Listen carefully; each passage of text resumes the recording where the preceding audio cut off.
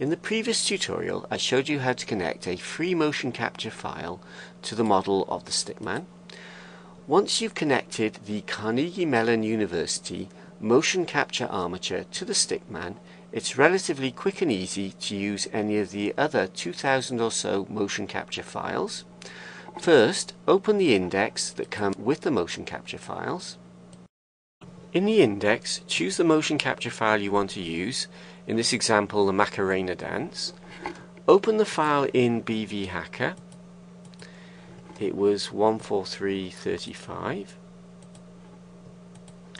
Now when they make the motion capture file they use a very high sample rate, much higher than you need, and it makes the files very big and take a very long time to open.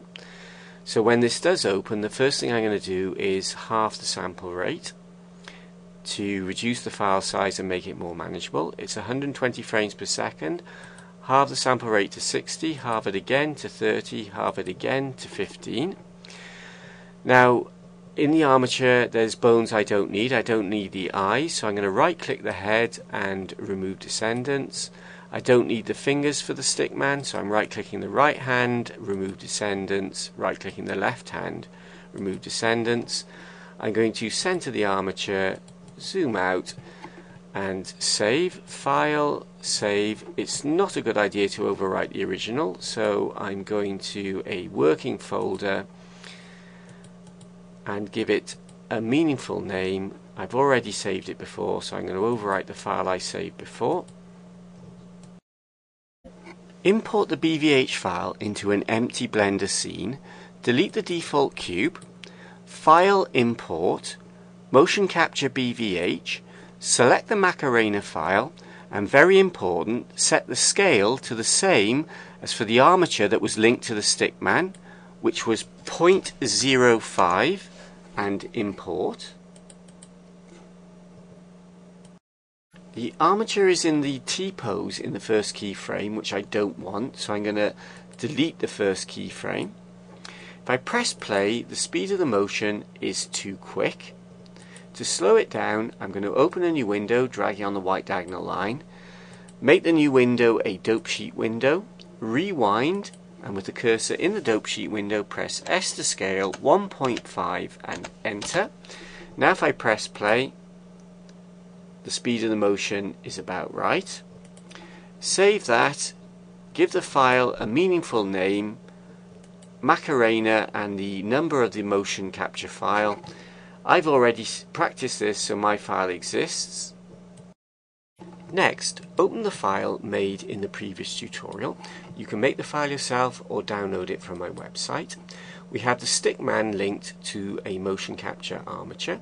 How do we link the stickman to the Macarena motion?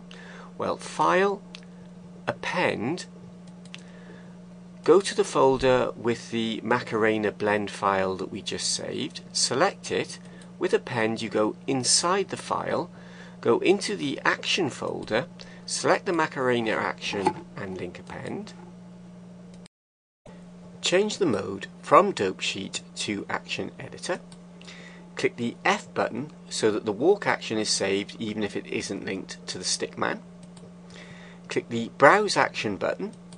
Select the Macarena action Click the F button so that the Macarena action is saved even if it's not linked to the stickman. Increase the total length of the animation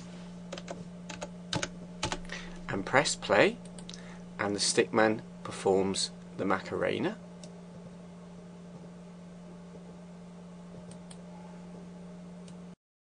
I have prepared some more motion capture files which I can append into this one. I've prepared a breakdance file which I've edited in BV Hacker, edited in Blender.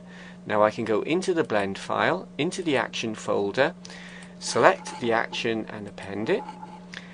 And I can append a twist motion. Go into the Blender file, into the action folder, select the action and append. Click the Browse Action button, select the new actions and click the F button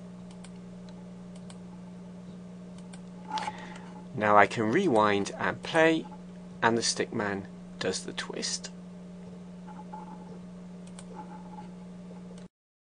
I was sent a message by Patrick Jasek about additional motion capture tools. If you go to User Preferences, click the Add-ons button, go to the Animation category and tick Motion Capture Tools and there's a link to the Blender Wiki for the capture tools and if you scroll down the Motion Capture Tools add-on, as its name suggests, has many varied and different tools for the artist who wants to work with motion capture data. And if you scroll down, there's a link to the user manual, which tells you how to use the tools. And if you scroll down in that, one of the main tools is to retarget the motion capture data for the bones of the motion capture armature, retarget it to the bones of your armature, which is a more sophisticated approach than mine, where I delete my armature and link the stickman skin directly to the bones of the motion capture armature. To use the motion capture tools, click the Object Data button and scroll down and you will see the additional tools.